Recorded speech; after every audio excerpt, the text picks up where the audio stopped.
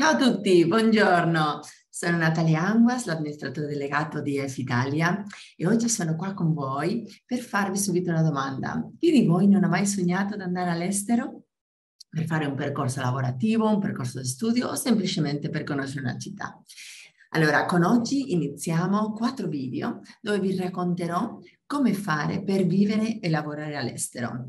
Siamo nel periodo giusto dell'anno per farlo e eh, vorrei raccontarvi la mia storia personale. Io ho avuto diverse fasi della mia vita in cui non sapevo cosa fare. La prima è stata quando ho finito il liceo, che non sapevo che percorso di studio eh, fare. Finalmente mi sono decisa per, fare, per andare a Parigi, perché volevo imparare il, eh, il francese e cominciare con l'università eh, in Francia. E alla fine mh, mm, ho scelto una, una università eh, che era basata a, a, Parigi, ma anche a Madrid, e ho fatto un po' avanti e indietro.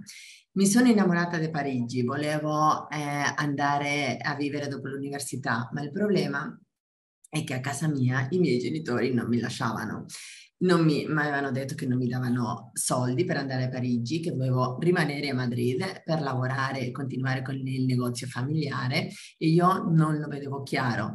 Ero nel più profonda desesperazione, mi sentivo incompleta, mi sentivo mh, legata. E, è stato un momento difficile, ma eh, finalmente eh, ho deciso um, e sono andata per la mia strada.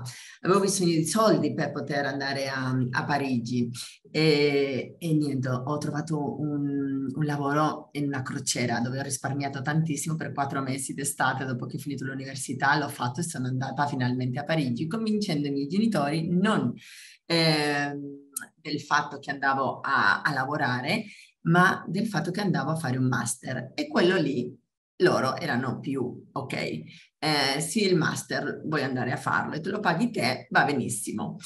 Niente, alla fine sono andata e ho cominciato a lavorare, niente master, eh, è stato un periodo bellissimo de, della mia vita eh, per due anni sono rimasta lì, ma dopo mi è venuta la voglia di eh, andare in America, andare a lavorare in America, cosa che è abbastanza difficile, soprattutto eh, all'epoca ehm, che le frontiere erano ancora più chiuse. Ma Um, per fortuna o per eh, ricerca personale, alla fine ho trovato eh, un lavoro, sono andata a lavorare a Boston e di nuovo è stato un periodo unico, unico della mia vita, eh, felicissima di questa esperienza.